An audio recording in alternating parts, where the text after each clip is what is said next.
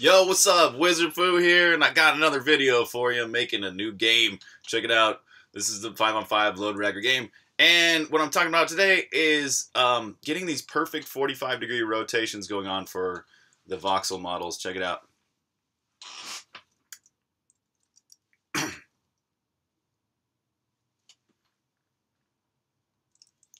So here we have um, the camera rotated to a negative 45 degree angle on the z-axis.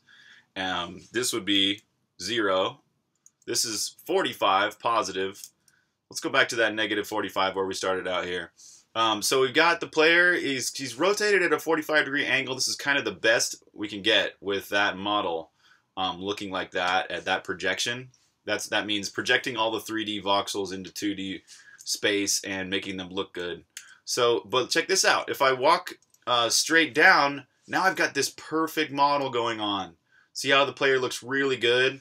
Before I did all this, the player looked really, really bad um, because it was actually rotating the model in 3D first, right, to a 45 degree angle, and then the camera itself is projecting those 2D pixels as sort of at a 45 degree angle, and it just got two 45s together and it just looked like crap. All the pixels were completely off.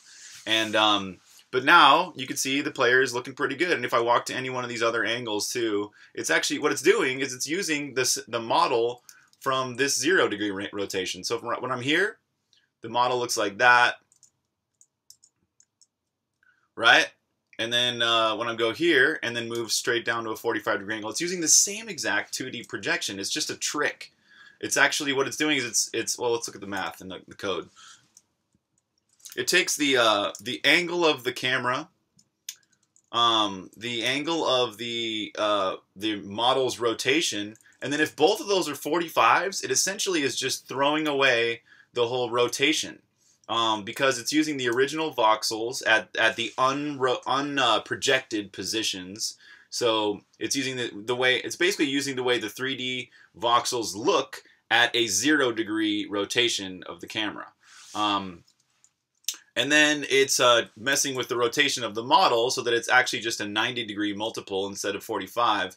And uh, rotating um, a model at a 40 at a, at a 90 degree angle is simply just a matter of swapping the x and the y or or making one of them negative or something. You know, it depends on Depends on which uh, 90 degree multiple you're doing, but it's all the very, very simple calculation that's going to look really good at any one of those 90 degree rotations. So if possible, using 90 degree multiple rotations is really, really preferable because it's going to make your models look super good. So that's the trick. It's basically just using a 90 degree multiple rotation.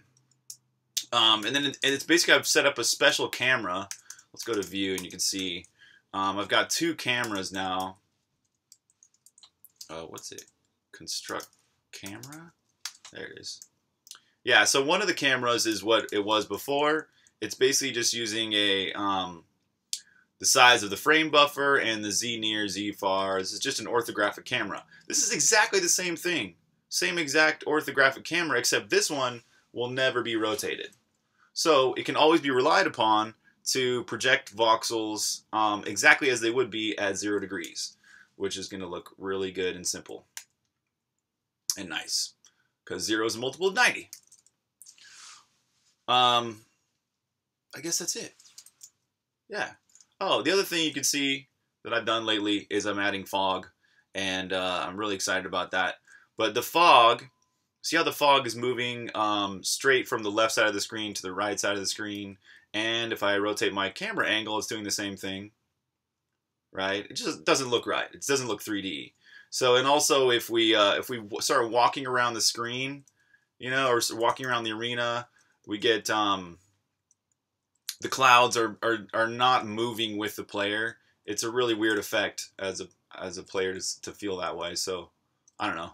Um, that needs to be fixed too. So, uh, what I need to do is basically come up with a system that moves the clouds in a 3D fashion and looks really good even if you're like way across the arena and um, it just all looks really good as you're as you're moving around in 3D space. So that's it for this video. Thanks a lot for watching and uh, will catch you next time.